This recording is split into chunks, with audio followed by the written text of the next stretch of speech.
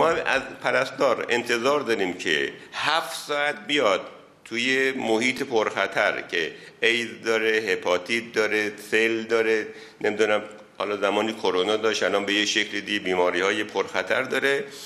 بعد 20 تا مریض بهش میدیم.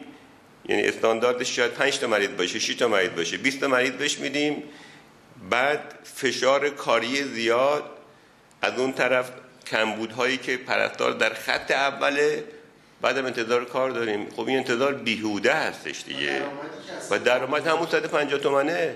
یه شیفت 150 هزار تومن. هفت ساعت شیفت ساعت 20 هزار تومن 140 هزار تومن میشه.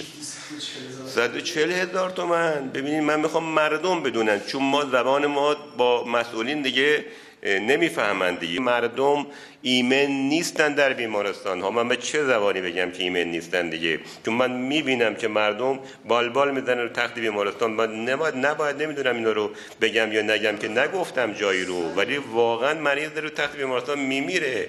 آخه اون شرف داره اون مسئولی که اینو ببینه. دقیقا. ببینید استاندارد میگه آقا شما یه پرستار باید پنج تا مریض بدین. موقعی که 20 تا مریض بدین خب نمی‌تونه پرستار کارشو بکنه. تا اون پرستار خسته که از شیفت دیگه اومده دیگه.